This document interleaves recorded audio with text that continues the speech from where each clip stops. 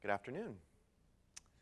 Thank you for joining us here at our first education track at the 2015 AWS Summit here in San Francisco.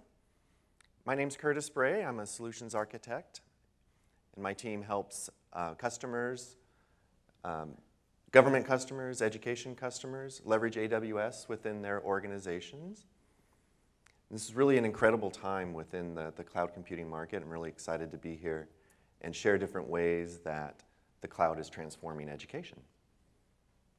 So today you're going to hear some stories about how leading edge private companies like Instructure are leveraging AWS to innovate their product lines for the education market.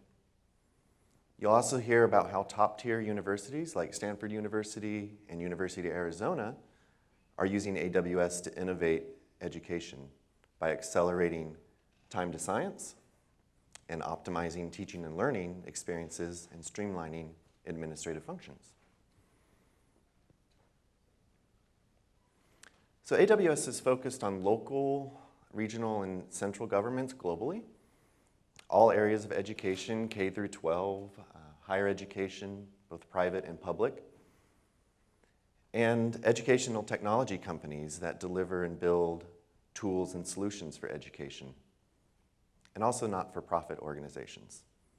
So these customers are both thinking big and going big for a disruptive change with AWS. And we now have over 900 government organizations, over 3,400 educational organizations, and 1,100 not-for-profits that are running on AWS. We expect that to continue, and we like to, we're, we're going to see that number in, in increasing over time. So you may have heard this morning at Andy Jassy's keynote um, about a number of new products and services that we released. So we continue to innovate on the platform at a very rapid pace. So customers benefit from, from this continual innovation and evolution because they can get those newest features and enhancements instantly. Right? They have, they have no need to upgrade or deploy or, or migrate to take advantage of those. So this is really game changing when you think about it for, for our customers' abilities to deliver new value to teachers and researchers and, and students. So adoption of AWS by education is, it continues to grow, both with higher education um, techno and technology companies. Our education customers often indicate that the, the speed and flexibility and the cost effectiveness of AWS helps them stay agile to their users' needs, and helps them build on, on the reliable, secure, and scalable infrastructure of AWS. So you might have questions about security in the cloud, but our, our biggest customers and our most conservative customers have often found that we're able to meet their, their meet or exceed their security requirements, and we can often provide better security profile than what they had internally. The AWS cloud infrastructure has been designed and managed in alignment with various regulations and standards and best practices, including HIPAA and ISO 27001. So if you need to run HIPAA workloads or if you have ITAR compliant data, please contact us and we'll help you with the solution that meets those requirements. So as an example of, of services and features that we provide to enable security within AWS is AWS CloudTrail. So it's a web service that records the uh, AWS APIs calls that are made in your account and then delivers those as log files to you. So the, that API call history then produced by CloudTrail can then be used for security analysis, uh, res resource change tracking, and compliance auditing. So research can't afford to be slow these days, right?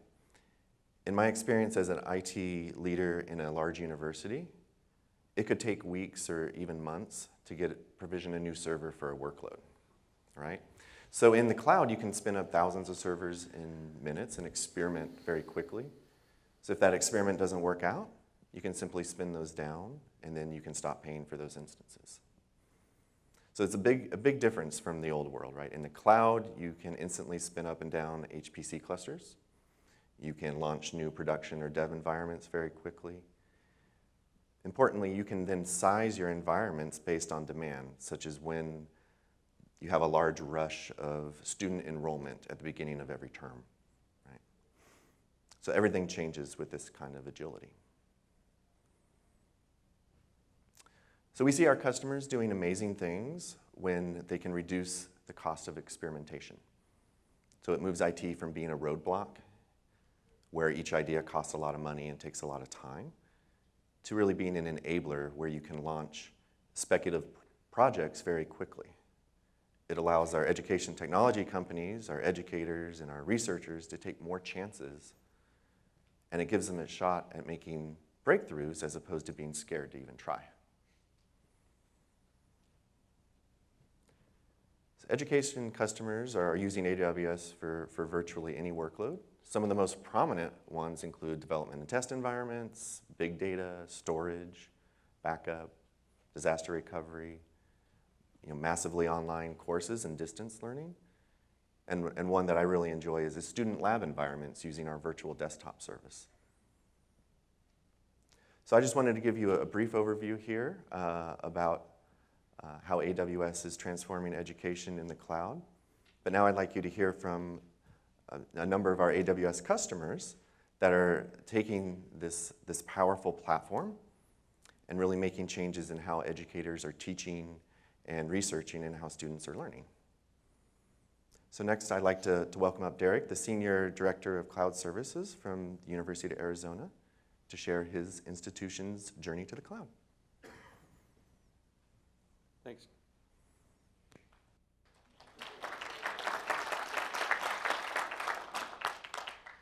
Thanks, Curtis. Um, yeah, so I'm, uh, my name is Derek Masseth, as Curtis said, uh, Senior Director for Cloud Services at, at the University of Arizona. Just here to, to talk to you a little bit today about our, uh, our journey to the cloud, things we've realized along the way, uh, some successes we've had, and, uh, and where, we're, where we're headed. So um, quickly, a little brief about the University of Arizona. I was, I was remarking in the hallway that I wish I wish the U of A was a more household name, kind of like Duke at this point, but um, we got knocked out a little bit early a couple weeks ago. So, um, anyway, pretty large Research One traditional land grant institution uh, out of Tucson, Arizona, serving about 40,000 students uh, with 300 and some odd degree programs, $2 million budget, uh, a bunch of buildings, and basically a big footprint, very traditional um, you know, state uh, higher ed institution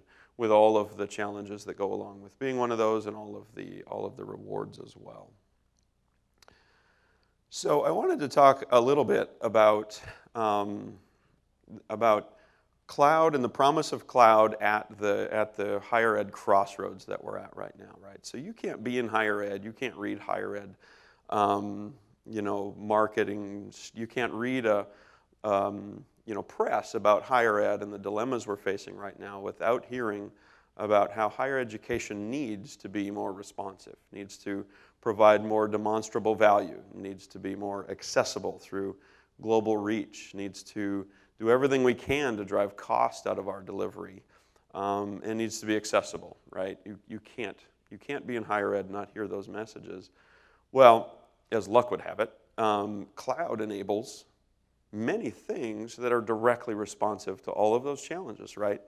Cloud brings agility in, in forms that were not available, uh, aren't available in traditional IT you know, delivery mechanisms. It's incredibly flexible, delivering value. Um, it can deliver a global presence to an institution like the U of A.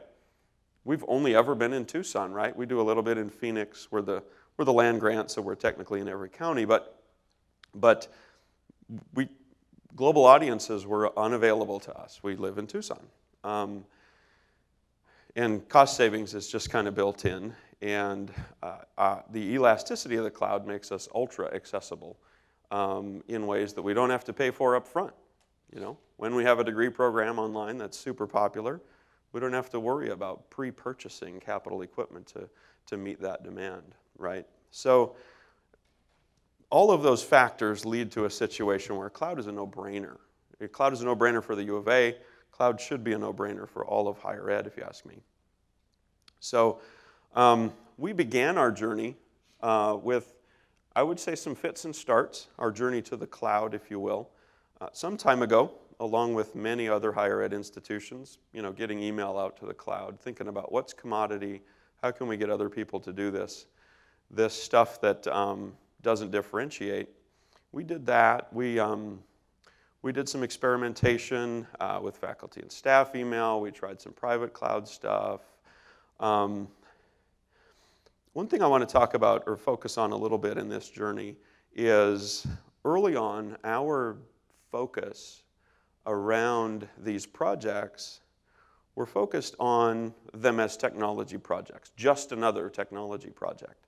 And did not, I would say, uh, apply enough emphasis to the notion that cloud is fundamentally transformative of all of IT. It's, it's, it's a brand new service delivery mechanism for how we deliver IT, as, uh, IT services, most of them as a service, right?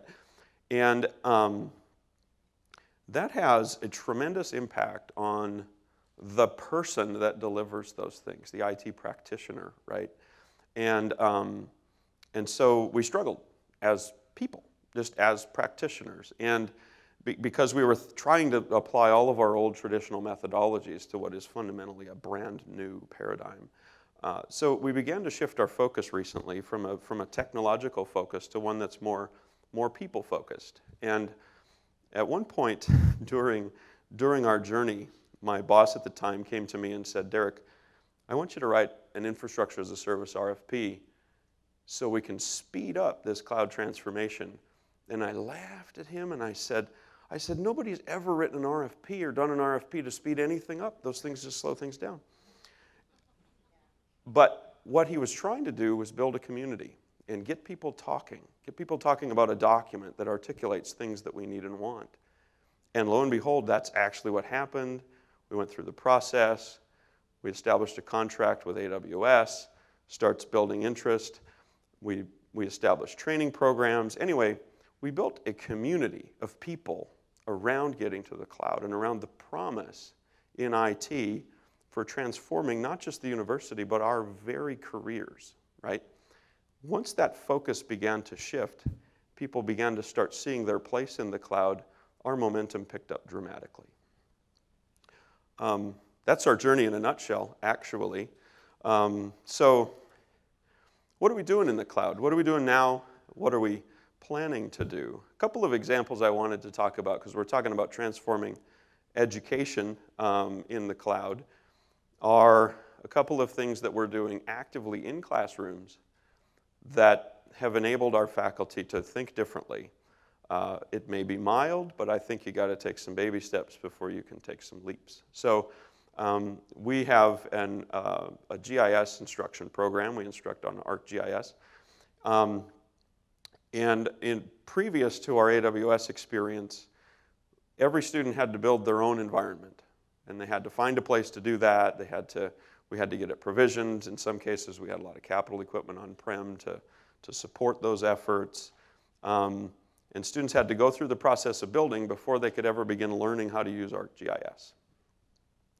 With AWS, we don't have to have any of that capital equipment. We can script the build of ArcGIS. It just happens as soon as the students need it.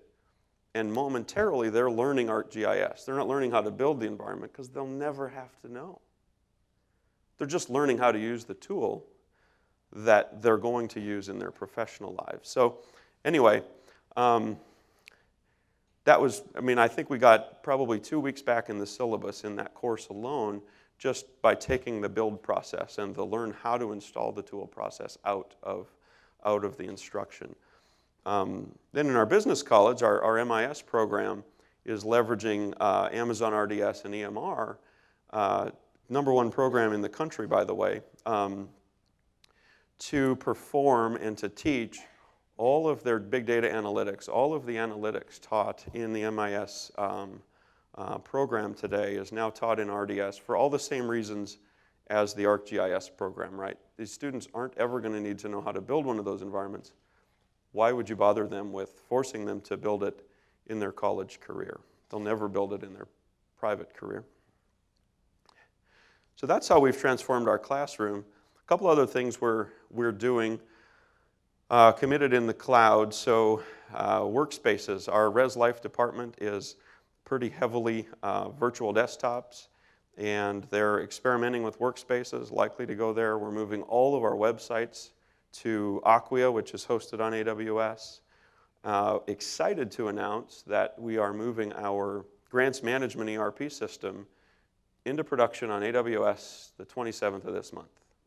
Um, that will be our first major production application in the cloud. So we're doing a whole bunch of disaster recovery, a whole bunch of backups, lots of data. In particular, our Center for Creative Photography hosts the Ansel Adams uh, archive, the digital archive of every Ansel Adams print. That's protected right now in Glacier. Um, we're, we've committed to moving all of our student information system into the cloud, um, ideally by the end of this calendar year. Uh, those are just some examples. So I'm going to rush through this so the other gentlemen have time. I think I'm, I'm approaching my time. So what's next for us? What's next for us, we have declared very recently a cloud-first strategy at the U of A, which means to us that when we have a problem to solve with IT, the first way we're going to try to solve that problem is in the cloud.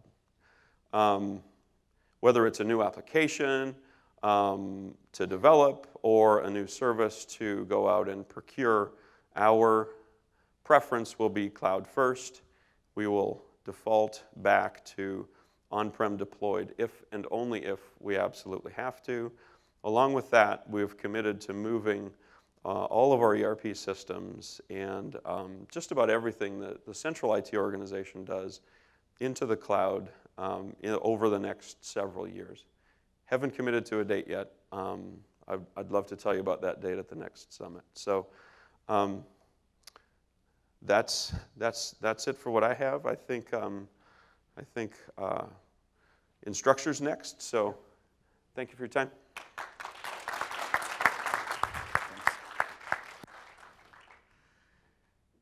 see everybody now. It's a good looking crowd. Um, so I'm very excited to be here this afternoon to talk to you about how Instructure is leveraging Amazon Web Services to disrupt and reshape uh, the online learning experience. So in order to tell you the story, um, we need to kind of go back to 2008. And in fact, the Instructure story starts in a classroom. Not this classroom. Actually, this is the coolest classroom in the world. They have a Frank, a Frank Zappa quote on the, on the board. But uh, that quote is actually core to our belief, right? Without deviation from the norm, uh, progress is not possible. And so the story starts in Brigham Young University with two students in a How to Be a High Tech Entrepreneur class. That class was taught by our current CEO, Josh Coates, he himself was a very successful uh, serial entrepreneur. And the two founders of Instructure, Brian and Devlin, were in his class. Uh, and one of the core tenets of his curriculum was if you want to build a technology that disrupts, if you want to build a company that has a high degree of success or high uh, chance of success, find a technology that you use every day that's indispensable to you that just sucks. And Brian and Devlin didn't have to look very far. Because at Brigham Young University, they had four different LMSs at work, right? These LMSs didn't talk to one another. They were clunky. They were built on, on antiquated technology. They were painful to use. In fact, a number of uh, faculty refused to use any of them because they were so painful. And so Brian and Devlin set about uh, on, a, on a mission to change that. And they built a, uh, a straw man of, an, of the application inside of PowerPoint, had about 250 slides. They jumped in a borrowed Geo Metro and they drove up the West Coast. And they talked to anybody in education that would talk to them. And on this product validation tour, as they called it, they spoke with 17 different organizations that all of them said, if you build what you say you're going to build, we're going to buy that. So they came home and sat down with, with Josh, their professor, and said, We think we got something here. And Josh said, Yeah, I think you do. You know, 17 organizations out there said that they would buy it. So he took them under, their, under his wing and started introducing them to the local VC crowd. And I think it was on the third meeting uh, where the, the VC representative was, was in the room and said, You know, education isn't sexy, right? We're going to put our money in Twitter or we're going to put it on Facebook. And Josh, exhausted and exacerbated, stood up and said, Why are you being so stupid? Why aren't you seeing the value here? The guy looked him dead in the eye and said, If you think they're so damn cool, why don't you give them money? So that's what he did. This is not the actual check. In fact, the actual check is enshrined, hermetically sealed in the sub basement of Instructure with guards and lasers. But this is a forgery. And hopefully I don't go to jail for it. But Brian and Devlin, flush with $50,000 in cash and a lot of optimism, uh, decided that they were going to take on this task of building a better learning management system. And at that time, they had a decision to make. They could either go one way and do what everybody else had done, you know, have a on-prem piece of software that required uh, the school to go buy a bunch of servers and hire a bunch of SAs, systems administrators, and go through a lot of pain, or they could go to the cloud. Now, in 2008, Amazon had been in business, and the Amazon Web Services had been around for a little bit, and were, was the leader uh, in the cloud space.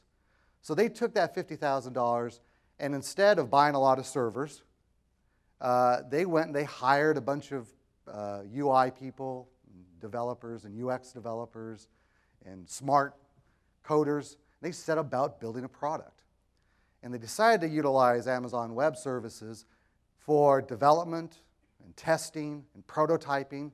I think it's already been mentioned by, uh, by both Curtis and Derek that you know, with Amazon Web Services, you could spin up and spin down environments very quickly and at a low cost. So it allowed them to take that $50,000 seed money and really stretch it. Of course, other checks would follow but they were already hitting the ground in 2008 and ahead of the game because of the use of Amazon Web Services. Now, also, about that same time, mobile devices started to appear. Really smart mobile devices started to appear on the market. Now, in 2008, if anybody remembers, uh, the App Store for both Android and iPhone were pretty barren as far as when it came to educational software. So, no, not many people conceived of the fact that students would want to utilize their mobile devices to engage uh, in educational pursuits. Um, Brian and Devlin, I guess, had a little bit of an epiphany in that we started a mobile strategy very early on and uh, made sure that our system had rich APIs and uh, the ability to uh, have a developer community that could go do innovative and creative and sometimes scary things with, with uh, Canvas and uh, now with our corporate learning system bridge. So that was the state of technology at the time. Now, next month, um, everybody's going to go out and rush and get one of these, right? Um, but what is going to happen in the next five to 10 years with wearables and education, right? Think about it. We're going to have millions of connected devices uh, all working inside this ecosystem. How the heck are we going to make sure that we're performant? And I'm talking about Instructure here. How are we going to make sure that we're performant and accessible and available for our, our customers and their users? Well, in order to answer that question, I need to give some numbers, right? We all like numbers here. So we have um, about 1,300 customers right now, representing about 16.5 million users. Um, at peak, we have you know two, well, 1,700 to about 2,000 instances running, um, and we have just under. Um, that's an old number, actually. I apologize. Just under two uh, petabytes of data under management. But it's that top number that I really want to delve into. So if you are running an on-prem or a managed service LMS today, if you have a peak day, that is a bad day. um, and they come, you know, a couple times a year, usually around semester starts, right? And in fact, our peak day was on February 9th of this year at 200, uh, actually about a little after noon Mountain Time. We had 216,000 concurrent users on the platform at the same time. If I was in a traditional data center or managed hosted system, that would be a very bad day for me indeed because one, we didn't know what was going to happen. We knew it was going to happen, but we didn't know when. Uh, you know, if I had to go out and procure hardware and rack and stack it in a data center, uh, that, was, that would be a very bad day indeed. I'd get a lot of calls that, hey, the system is down, it's slow, uh, you know, what's going on? Why are you guys being stupid? Um, and so with Amazon Web Services, we're able to have that capacity waiting for us, right? Um, it, we get the benefit of Amazon's deep pockets and lots of money from selling books. And uh, you know, they have a lot of servers just waiting there for us, which is quite awesome. Um, in fact, uh, we, we guarantee contractually a 99.9% availability SLA. Uh, I just checked yesterday, we're actually running four nines. Um, and so we're actually able to beat our SLAs, not by a little bit, but by a lot. So, how do we ensure that we don't have bad days, right? Um, in a traditional, again, managed hosted uh, or self hosted, this is kind of your, your sinus rhythm, as I call it. And if you're trying to build out capacity to uh, meet that demand, you're always going to be late because the peak is going to happen. The thundering herd, as we call it, is going to come upon you. And you're going to have the calls, and suddenly there's going to be POs on your desk to get more hardware because we don't ever want to go through that pain again. And you go install that hardware. Problem is, that peak, that pain was two weeks ago. And so now you've got all this capital investment that's doing nothing for you until the next peak day. And guess what? The last peak day that we had was not 216,000 users, it was 170,000 users. So how do you, how do you forecast for that? So at Instructure, we take a little bit of a different approach. We utilize the auto-scaling groups, and we utilize them in a very intelligent fashion. We have a piece of software that we wrote in-house that we, we bolt on top of, of the auto-scale group that allows us to use a predictive algorithm that knows our business and knows what's coming. And so it can very easily uh, predict and scale up uh, the infrastructure to be there. In fact, on that, that peak day, on February 9th, when we had 216,000 users, we didn't have a call. We didn't have anybody with hair on fire. The system just worked. And again, if I'm in a, a traditional self hosted or managed host, I can't say that, right? Um, we were able to uh, meet that demand uh, and, and provide the, our users, uh, I'm sorry, our customers and their users with the same level of performance and accessibility as any other day. It was just any other day for us. So, in closing, I'd like to leave you with a couple of things. One, when Brian and Devlin set about changing the face of online learning, um, they had this concept of lifelong learning, right? They believed uh, at the core of their business, at the core of our business, that learning is a lifelong pursuit. And so we have uh, you know, a couple of products. One that's focused on K through 12 and higher education, being Canvas, and we just released a corporate learning product called Bridge. And the idea there is you can have a student start with Canvas in grade school, carry it on through their higher education, and when they enter into the workforce, there's Bridge waiting for them. And so they have a fairly consistent, uh, continuous education experience. Uh, and we would not be able to provide that type of service in any other way than in the cloud. Um, you can't, you know, you can't have consistency when you have on-prem software all over the place. The other thing I like to leave you with is that um, we basically owe a lot of our success to the fact that we are on Amazon Web Services. They've been an incredible partner of ours, and have watched out, have watched over us uh, uh, almost like a guardian angel, uh, and let us know when we're, you know, when new services are coming out. And I don't think there's a service in the catalog that we haven't used. Maybe workstations.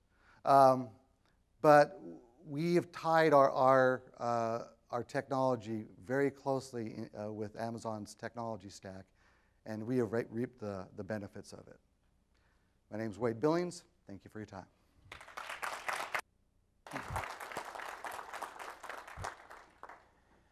Thanks, Wade. Um, that's a really interesting story. I'm glad uh, none of the learning management systems suck at, uh, at Stanford. I, it's never a problem where we are. Um, so yeah, so I'm, I'm at uh, Stanford University, and um, I do, do technology strategy and in a, in a central IT organization, and I run a, an emerging technologies group. And um, so it's a lot, it's actually a lot to stand up and try to represent something as vast as Stanford and sort of the scope of, of what Stanford is, but I'll give it a shot. So, so you guys all know the story of the, um, the massively open online courses that are all run in-house to hundreds of thousands of, no, you don't know that story because I don't either. They're, they do not exist. And, and so, I mean, they're all, that I know about, were all the, all the MOOCs, um, uh, scaled MOOCs that, that we're talking about, you know, when we're talking massively scalable, they're all pretty much born in, in, uh, in a cloud deployment fashion. So um, I'm going to talk a lot about the, uh, the deployments at Stanford in, in general terms, but since you've heard a fair amount about, about um, LMS and uh, pedagogical kind of deployments, I'm going to focus sort, sort of the latter part of the talk a little bit more on both research and on IT practice and some of the, some of the implications there. But, but about MOOCs and about LMS, I mean, these, these are areas where um, we, we have gone through uh, evolution of, of looking at uh, MOOCs and kind of what was that going to do to the fundamental nature of how um, higher ed instruction is delivered. And it's definitely still this major conversation about intellectual property and kind of who are we, who are we, who, who's, our, who's our user base, who are we serving, what's the community, and all of that. Um, but one thing, when you're, especially when you're a research institution, a great thing about a MOOC is you get a huge amount of data. You get a huge amount of data about how people are interacting with a learning platform. And so you can take that and you can learn from that and learn better ways to teach. You can, you can find out outcomes in real time on a massive scale that you wouldn't necessarily have gotten with you know, the rarefied group of folks that are actually able to get into a place like Stanford. And so that's a fantastic um, learning benefit as well from the MOOCs that I just wanted to point out. But in terms of scaling, they never would happen if we weren't able to use the cloud, fundamentally. And then being able to work on the analytics against that. You know, we turn around and, and obviously do that through the cloud as well. Um, with learning management systems, um, we've definitely been contributing for a number of years in platforms that are some of the traditional learning management system platforms. And, um, and again, what the evolution has gone toward has been the cloud. And it, it hasn't necessarily been directly into the cloud um, by us putting something that we're already running in house out onto AWS, as an example, but maybe working with a partner, working with a Canvas, or those kinds of platforms that are obviously able to iterate what it is they have in functionality a lot more quickly than some of the traditional, traditional platforms that are out there. That's just a side benefit of the, of the rate of innovation and the way that we can continuously improve with the cloud. So in basic research, um, if you ask a basic researcher, um, and I meet a fair number of them at Stanford, uh, a principal investigator that's doing a lot of uh, numerical uh, modeling and doing a lot of research computing, um, if you ask them whether they want to run their experiments and their modeling on in-house resources, in our research computing data center or in the cloud, they'll just look at you and say, yes.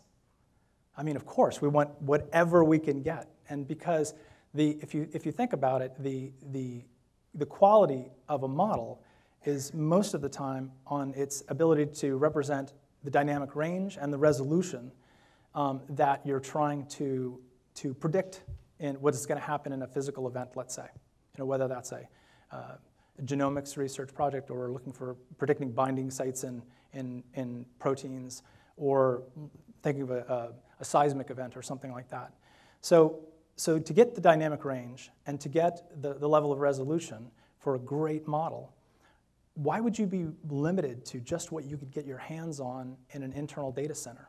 That's just, we don't hire the, the, the best researchers on the planet um, to, do, to do research at Stanford to limit them by how much hardware they can, they can buy.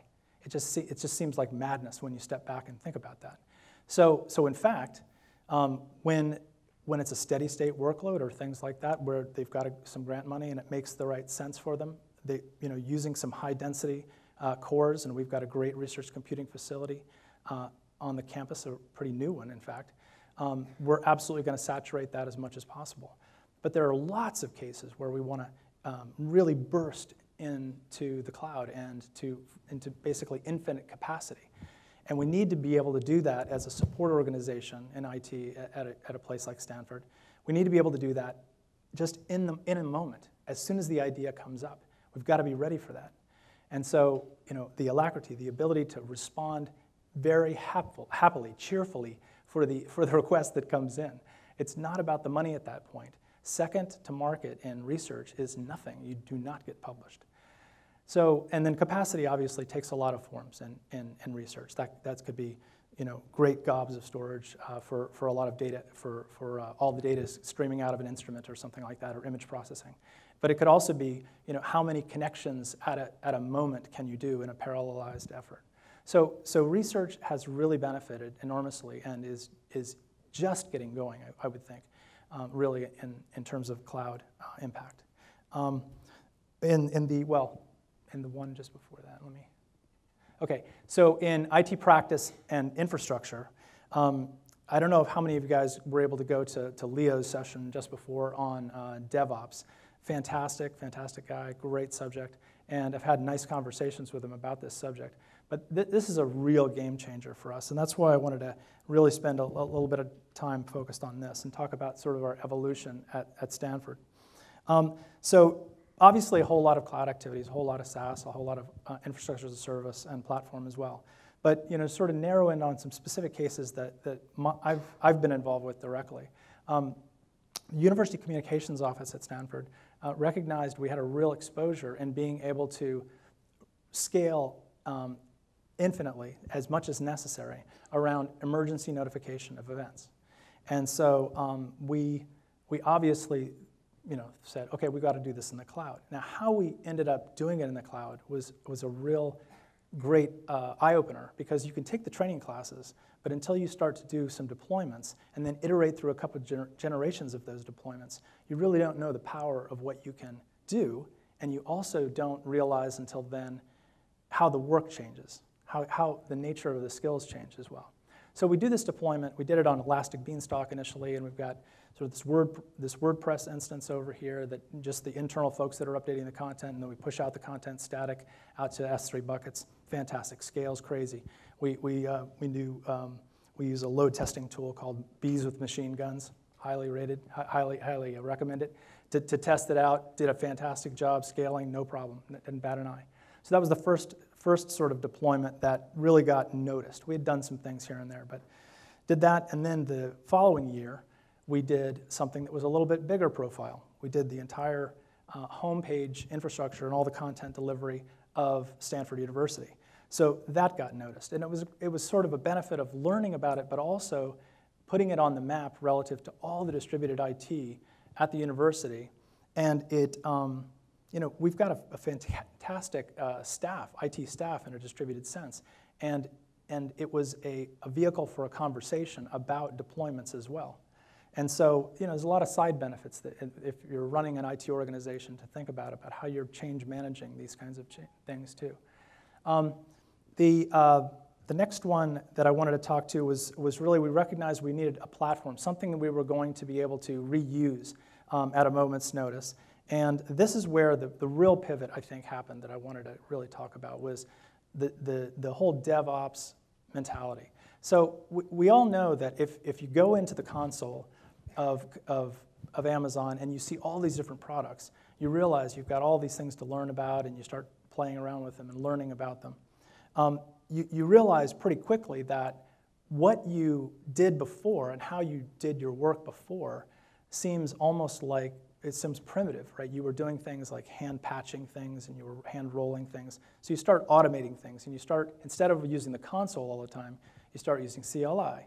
And then you move forward and use APIs and you really start to automate things. You do things more in a programmatic fashion. And, and that changes the nature of the work and the nature of the skills and the nature of the conversation to become much more of a, of a software development kind of a conversation rather than a traditional, say, sysadmin, DBA, those kinds of roles. It really shifts. And so, what's, what's a great um, opening for some of your IT staff that wouldn't otherwise have necessarily been embracing the cloud is that when you start putting tools in front of them that look like the tools that they use anyway, that they've been hearing about and, and knowing in, in certain software engineering uh, um, changes that have been going on anyway, what they know what continuous uh, uh, in a, continuous improvement is about. They understand why these things are, are, are, are trends that, that they can capture. They also understand that this kind of direction means that they can put their code through testing and go live a lot more quickly. So, so the, the, the first deployment we did with a DevOps model was really taking the original emergency code and moving that forward such that um, it was going through a Jenkins model. So that's the framework we're using for continuous integration. So, so that really, really uh, excited the, the, the, uh, the uh, University Communications Office, and they wanted more of that. And we were able to then demonstrate to broader audiences the value of that. Now, what we've layered on more recently is containerization. So containers a, are another huge game changer that have applicability to a whole lot of other parts of, of the university and how we're working. So I would say that, so this is our mix. This is our stone soup mix of the different products. You know, we've got Git, we've got, um, we've got um, uh, uh, you know, CoreOS and Docker and Jenkins. And, you know, you can insert, insert different kinds of tools, different kinds of, of, of utilities in, in, in, the mix here with, variant, uh, with uh, you know, Vagrant as well. So I would say that, that, that all, while those logos are going to be changing probably quite a bit over the next three to five years. I think the model of continuous uh, integration and doing things in a container model is really something that's got staying power. And so we're heavily investing in that strategy. And so we've gotten a huge amount of benefits in terms of, of our you know, upgrades without service dis disruption, you know, really, really being able to port, make portable the stacks that we move between. Now, this is actually really exciting for a lot of our researchers, because if you've ever supported basic researchers and they have to change from one platform to another, and if their executable environments and their libraries and their analytical um, tools fundamentally change and they get different round-off errors on you know, things, that drives them crazy. And when they have to redo that, uh, the portability that developers like around containerization is something that researchers really, really like a lot. Um, I would say that the, the scripting that you, that you think about with CloudFormation, that's an awesome uh, uh, set of frameworks to be able to script uh, like a whole data center creation. Uh, we, are using a tool called Terraform to abstract that out a little bit. We're driving uh, CloudFormation, but we're doing it with an external tool, so we actually have the ability to script the same kind of build mechanisms for internal platforms as well. And then um, in terms of rapid deployment, I mean, this is one of these sort of the Red Queen effect situations that, that what's acceptable um, today in terms of rollout pace is just not going to be acceptable uh, next year. So we've got to keep trying to, to shorten our windows of being able to roll things out. Request comes in, uh, we've got to be able to turn that on right turn that, that request in around right away, or even better, allow the consumers to request and have an automated script just deliver it for them automatically. And that's, that's anywhere from a, from a central IT, a, a, a, a business analyst, all the way through to a researcher or someone who's teaching a class. So it's really the whole gamut of, of IT. So I would say the platform is fundamentally changing. The way we're thinking about the platform, it's not just about infrastructure as a service, it's all the orchestration, it's all the security, it's all of that. The skills and the work fundamentally changing. And this is the big change, the cultural change that I probably spend most of my time with, to be honest with you. and that's uh, the, the technical IT staff. That's folks that now have to realize that they've got a big dimension of vendor management they have to think about and compliance, all those kinds of things. But it's, it's absolutely a lot more work. It's just a different kind of work, I would say. A lot less drudgery and a lot more automation. And I just see nothing but possibilities. I mean, I see, you know, every time I, every day I come into work, I see more things that we can drive forward and more, more um, turnaround, more satisfied folks that we, that we can go after. And so uh, the cloud is just a huge part of that. I don't, I can't even imagine a way we would be able to do that without the cloud. And, and our go-to platform right now is really AWS. So that's, uh, that's what I had to go over. Thank you.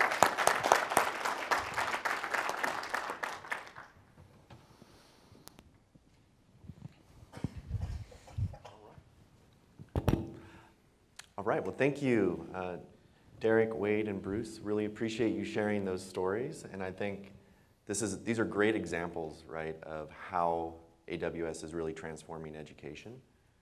And I really appreciate sharing with, with the audience today. So within, uh, within your mobile app, you'll, you'll see within this session, there's a, a survey at the bottom. We, we always appreciate uh, feedback um, on, the, on the sessions. It helps us um, plan content for future, future events like this. So I believe we have a, a few minutes also. We can, uh, we're, we'll be up here. We can take some questions. Um, we may have a mic um,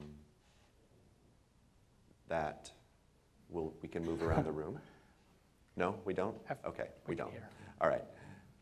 So we will be up here, we, and uh, afterwards we'll actually be, out, actually be outside in the, in the hallway as well, um, if you have questions. So feel free to, to uh, come up and, and ask us anything. There's- I work for Amazon, but I just have to ask the question because I think it's important. Can you guys talk about how you've handled training? Because I know each of you have worked with training in very different ways, but it seems like it's been impactful. And I'd love to hear about that a little bit.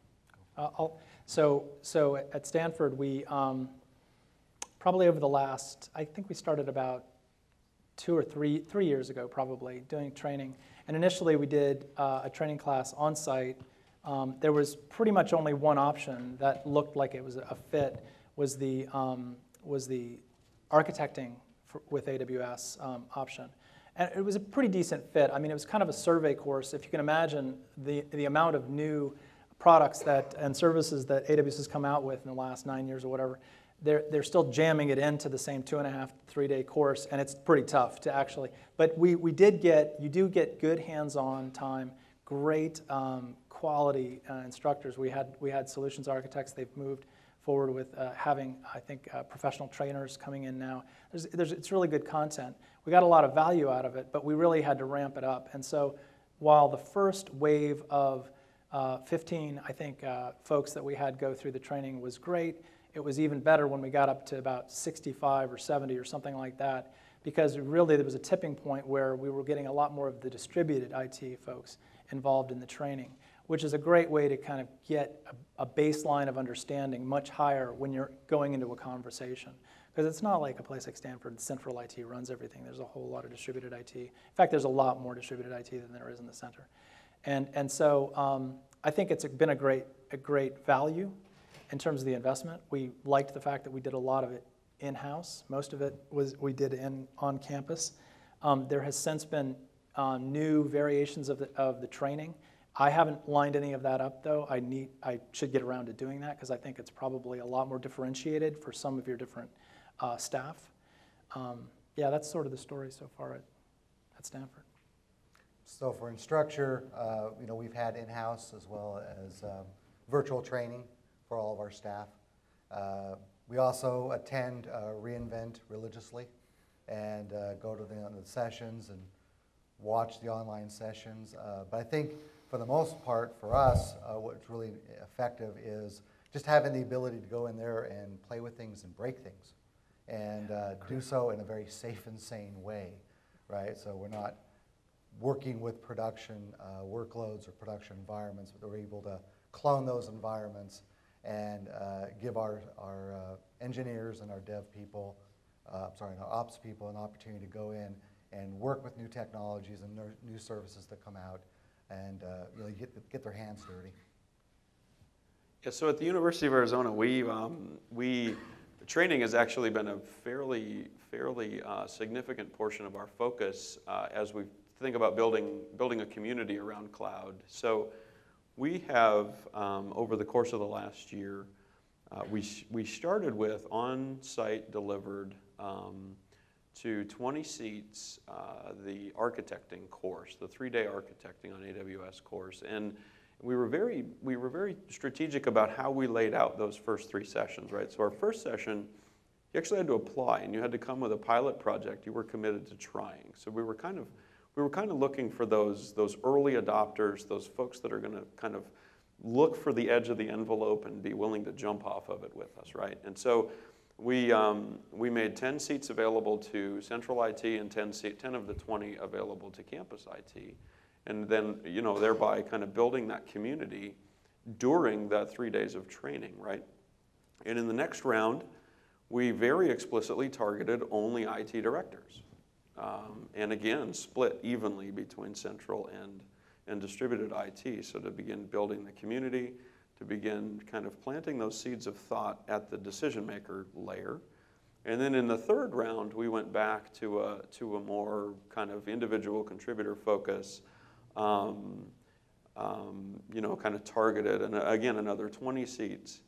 That round was challenging because the demand for it, the desire for it, after the first two sessions was insatiable. We had 20 seats, we had 60 people that wanted it. So we delivered it, we picked 20, it was hard and um, decided in that process that we needed to do something that was dramatically more scalable than, because per head, the delivery cost of that training model was just not going to be sustainable. We have 800 IT staff on campus. So uh, we partnered actually with AWS to develop, to kind of condense that three day down into one and deliver it on prem with, with um, I would say more economical, maybe uh, more focused resources. We partner with, with AWS to do that. And um, we deliver that, the relevant content from the three day in a one day session, and we don't limit the number of people that can come. So we delivered to 41 in the first round, we delivered to almost 20 in the second round. We've got our third round planned already uh, with, with you know, 15, 20 people already signed up. We don't even have a date yet. So um, training, and that, that it's been nice to get people into the interface, to get people looking at it, kicking the tires in a way where they're not creating financial risk. Everybody thinks, or a lot of people, before they ever get into the interface, they think it, that they can rack up a bill that's just a mile wide that they can't pay or that their management will be upset with them for having created, right? So giving them the opportunity to get into the interface, to do some simple little things so that they're not intimidated when they actually go in and begin to provision resources and recognize that, that the risk is small. You know, these are people that when they make a mistake in their day job today, it can cost thousands, tens of thousands, even hundreds of thousands of dollars. And um, you know, you over provision or make a, a, simple mistake in AWS, and generally it's measured in pennies or, or nickels or dollars, but not tens or twenties or thousands of them. So that, it's been eye opening and it, it's been effective to, to build skill and to build community uh, and to drive the fear factor down. So it's been good. Great, great. I think, yeah, there was a question there.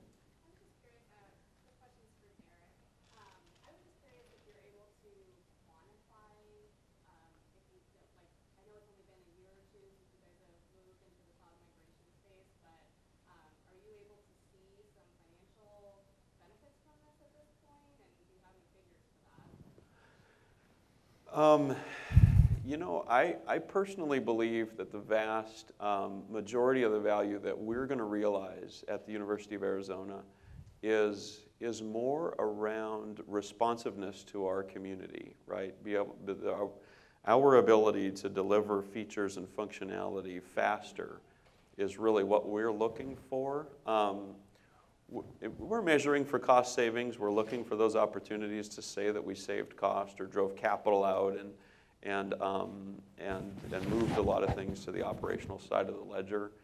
We're on track right now to um, our capital spend this year in central IT is 50% what it was at this point last year. So we're fairly confident that we're going to close the books this year having spent you know, 5 million less in capital than we did last year. That would be going from 9 to 4.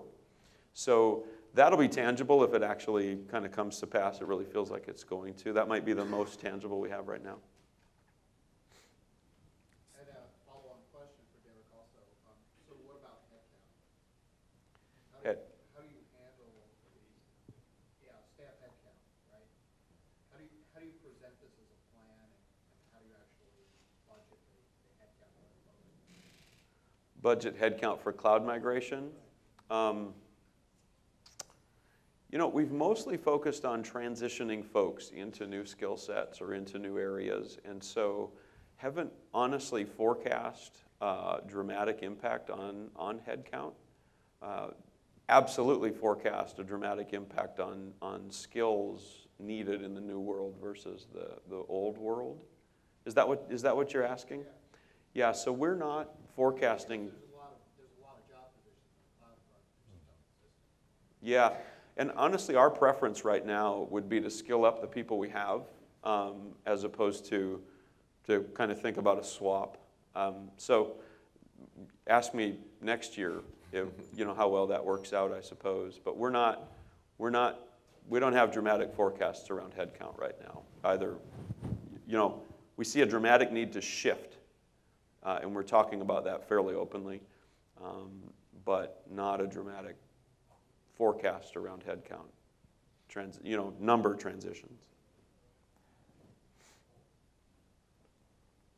I would, I would I- like to add one thing to what you just said, is that, uh, you know, for, for all of you guys who are, um, who are managing staff and sort of managing these transitions, uh, whether you can do it through metrics or other ways to, to sort of watch the transition, the reality is, is that there are, there are going to be people that are standout um, folks that really get why this is important and do some work on their own. And it's not a surprise. I mean, there's a lot of folks that, you know, day to day sort of get stuck in a rut anyway. It didn't have to take cloud to, to happen. It could have been some other disruptive technology. But, but there is definitely a fundamental change in the nature of work for folks like system administrators and database administrators and the folks that, that do the traditional, you know, but even, even process focused around ITIL and things like that. There's, there's, there's, a, there's a change of how that all is accomplished in, in the cloud. And it doesn't mean that, for instance, ITIL processes go away, but a lot of them can be automated. And you want to look for folks that are looking for automation everywhere they can find it. And so those people aren't necessarily cheap, but they, are, they, they reap enormous benefits in terms of your ability to execute fast and for looking for opportunity uh, for, for savings of, through automation. Um, and at the end of the day, I mean, who wants to be in a career path where you're, you're basically doing something that a script could do? I mean, really, you want to really point your, you want to, you want to cultivate your staff and give them opportunities to grow with these trends that we're talking about. But they've got to want it, Yeah, and you've got to have a way to track that. Okay, I think we are at time today. So again, thank you everybody for, for joining us.